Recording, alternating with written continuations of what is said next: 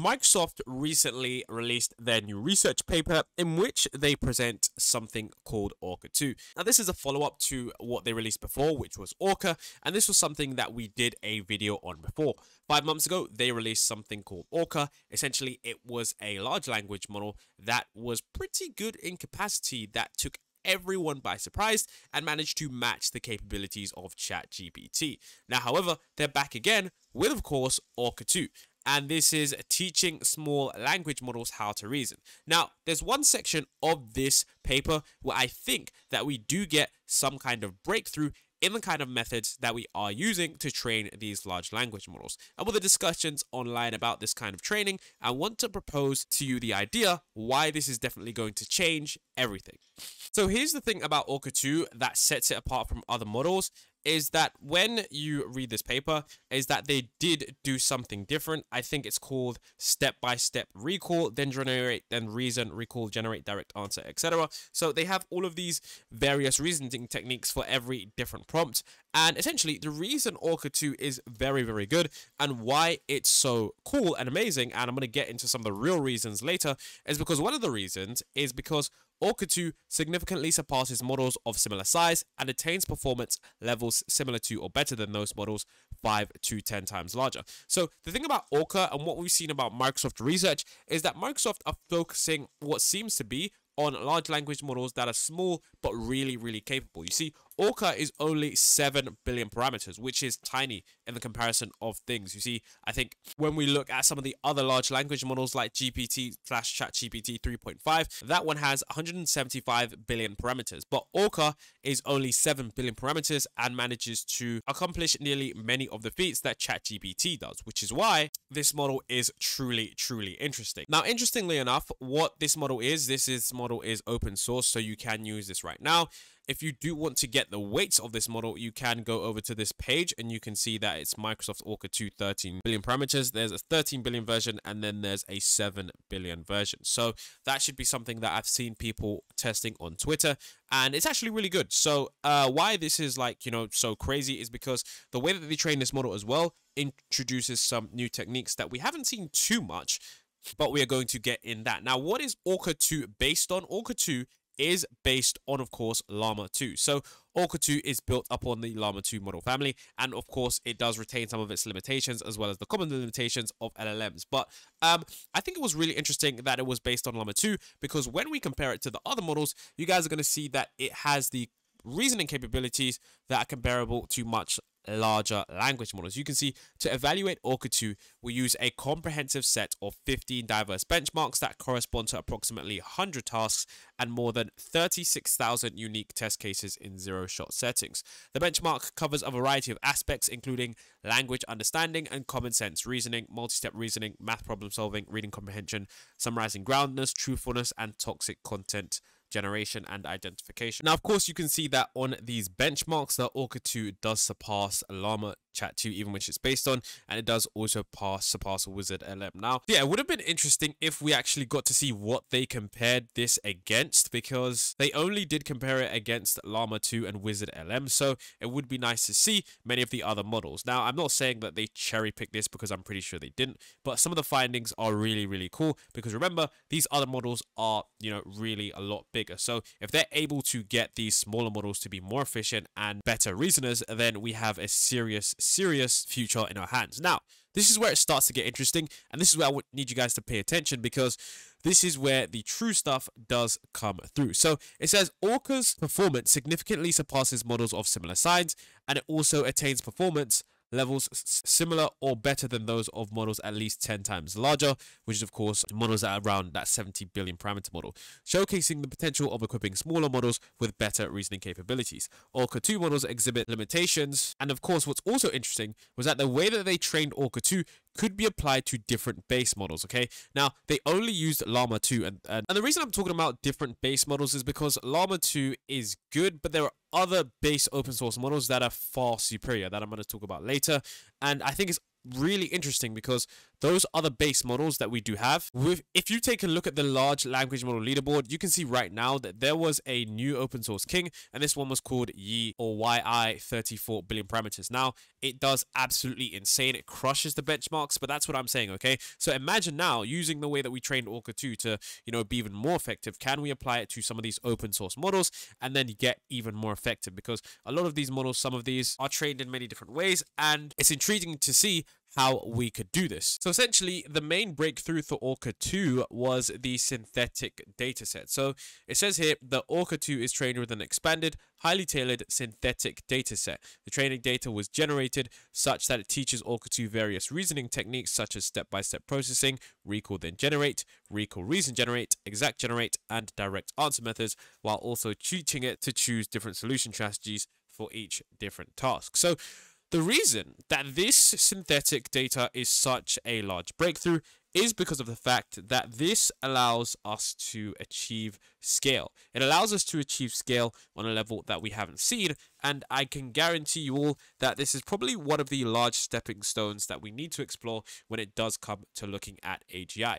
You see, the problem with a lot of the data sets that we do collect is that you actually do need to get a lot of data. And the problem is, okay, the problem with collecting data is that it is very, very hard to collect, you know, human generated data. And when we look at what you know GPT-3 was trained on, it was trained on I think 45 gigabytes of training data. It says GPT-4 was trained on yeah 45 gigabytes of training data, and GPT-3 was trained on 17 gigabytes of training data, which essentially means that you know if one of the main bottlenecks is data, then Microsoft research showing us that training on a new synthetic data set and providing these outstanding results shows us that this is where we need to look. Now, Microsoft Research aren't the only ones that are looking into synthetic data sets because, of course, as you know, this is a data that is created by AI themselves and is essentially just generated. Now, the reason that this is really cool is because others in the field have also started to say this, and many people are looking at the previous lessons that we did talk about. So, Dr. Jim Fan says that it's pretty obvious that synthetic data will provide the next trillion high quality training tokens. I bet most serious LLM groups know this. The key question is how to sustain the quality and avoid plateauing too soon. The bitter lesson by Richard Sutton continues to guide us in AI development. There's only two paradigms that scale indefinitely with compute, learning, and search. It's true in 2019, and at the time of writing, it's true today and I bet it's going to be true until the day that we solve AI, AGI.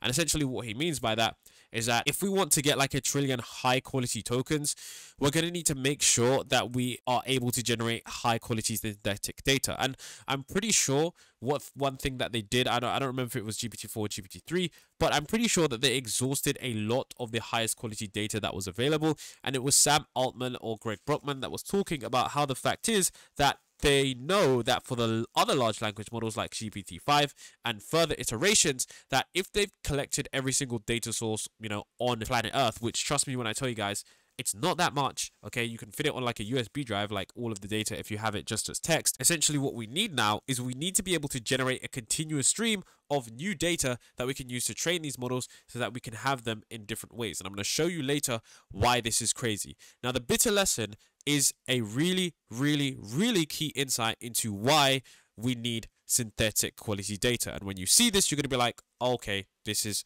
so true. So the bitter lesson essentially is broken down into five parts.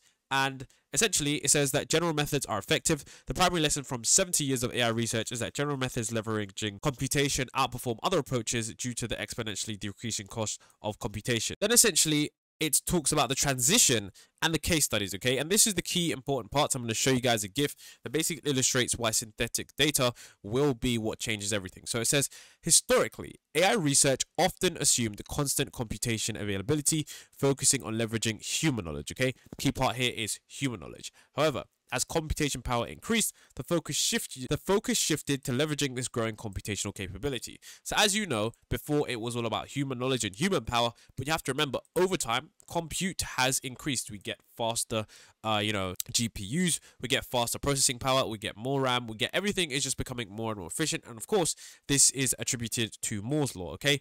But this is where we have to shift over to ensure that we know that we can utilize this compute, which is going to be more effective. And one of the things is, as well, is extensive search and computational power. So the thing about this is, is that there is a case study which shows us that training on data that AI creates itself essentially creates a feedback loop of kind of like self improvement to the point where we can get that next level in AI. And that's why there is such a focus on synthetic data. So I'm going to show you guys this GIF right here. And let's take a look at this GIF, okay? So you can see that at zero days, AlphaGo has no prior knowledge of the game and only basic rules as an input, okay?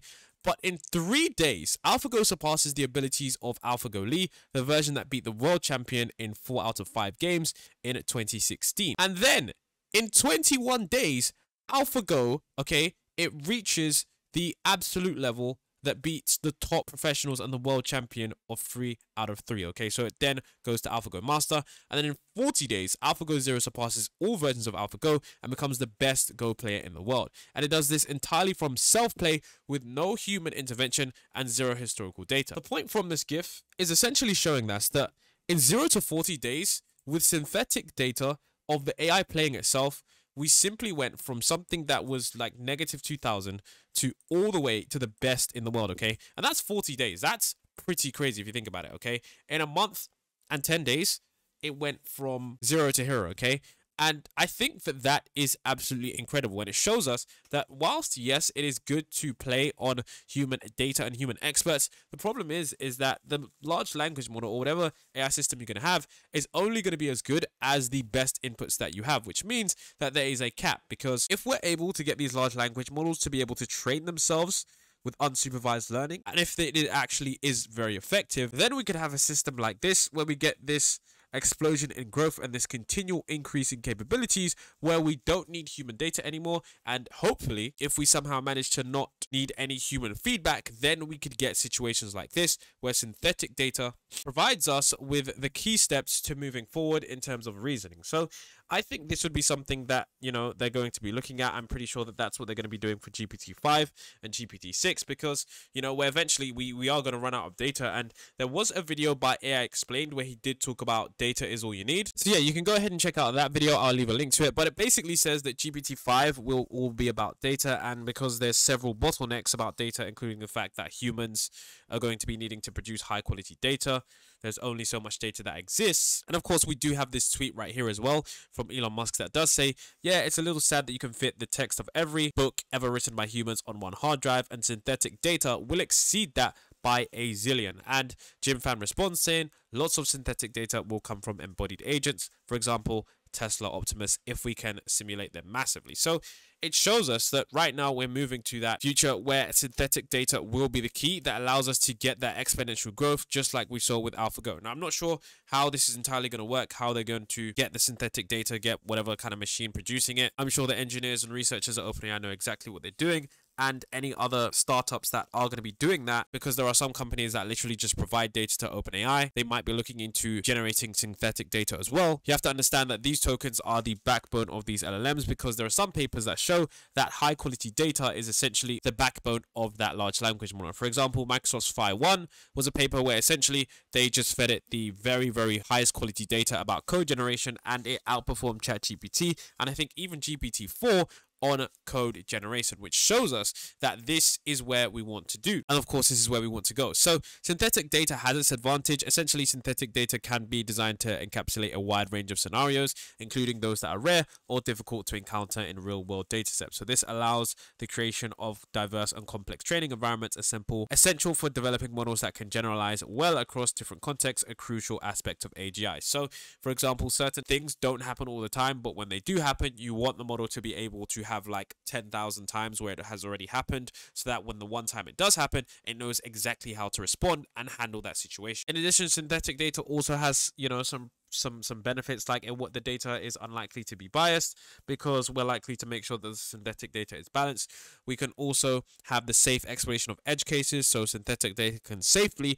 represent edge cases or sensitive scenarios where real world data collection would be impractical or unethical. So I'm not going to stake any of those in this video because I don't want it to get demonetized, but you can use your creativity to understand what that might be. But training on that data ensures that the models are prepared for, like I said, a wide range of scenarios, which is, you know, essential for AGI. If we're going to have an AGI system, it needs to be able to perform in every single scenario to a general level that is above humans. And of course, we're only going to do that if it's seen pretty much everything and anything that there is possible.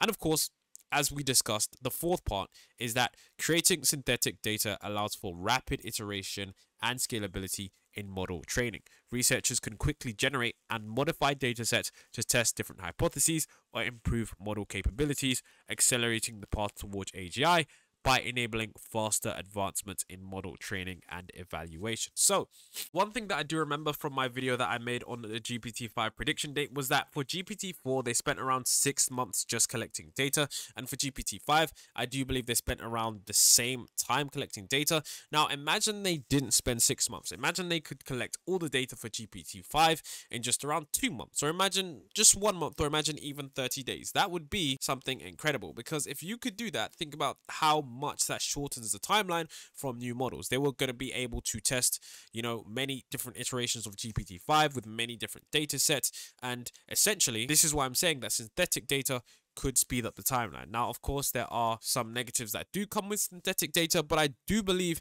that it is going to be the final bottleneck. Now, to conclude, Orca 2 it essentially says that by strategically training these models with tailored synthetic data, we have achieved performance levels that rival or surpass those of larger models, particularly in zero-shot reasoning tasks. Orca 2's success lies in its application of diverse reasoning techniques and the identification of optimal solutions for various tasks.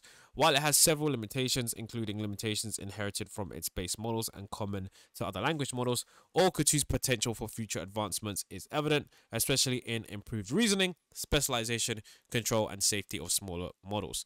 The use of the carefully filtered synthetic data for post training emerges as a key strategy in these improvements. So, the one thing I want to know now is that are we about to see the next evolution in AI where all of these people who are creating these large language models are going to start focusing more on synthetic data due to the bottleneck of human data? Because once you do capture all of the data that you can from humans and it's available on the USB, you're going to need more data to make these models even better. And of course, there are different reasoning techniques and there are different ways to train a large language model. You know, there are different things that people are doing.